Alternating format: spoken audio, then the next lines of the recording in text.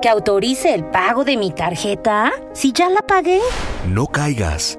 Puede ser fraude si recibes un mensaje de WhatsApp solicitando un pago a una cuenta desconocida o privada. Si no lo reconoces, no lo realices. Recuerda que los estafadores pueden clonar la cuenta de WhatsApp de tus familiares y amigos y contactarte a través de ella. Prevenir está en tus manos.